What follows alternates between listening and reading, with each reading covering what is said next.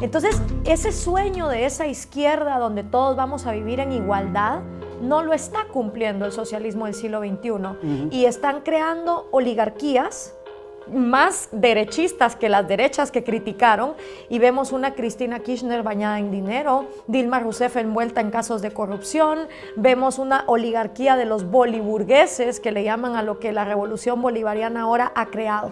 Y en los años 90, cuando nosotros salimos de las dictaduras, los recién electos gobiernos de derecha nos prometieron libre mercado nos prometieron capitalismo.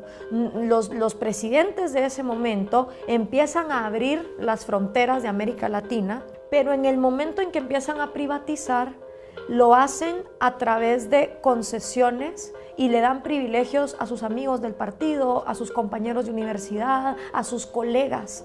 Entonces, la derecha latinoamericana, en lugar de traer libre mercado, lo que trajo fue más monopolios, más oligopolios y la población en general resintió al neoliberalismo y dijeron el capitalismo no funciona, el libre mercado es un engaño, necesitamos socialismo y por eso vemos lo que está pasando en el continente. Abrir una empresa en América Latina requiere burocracia, requiere sobornos, entonces se vuelve más fácil ser un político y hacer dinero con eh, los recursos del Estado. Pero si analizamos, aquí realmente no hay derechas y no hay izquierdas. Se usan esos discursos, pero solamente para llegar al poder. Se trata de construir país.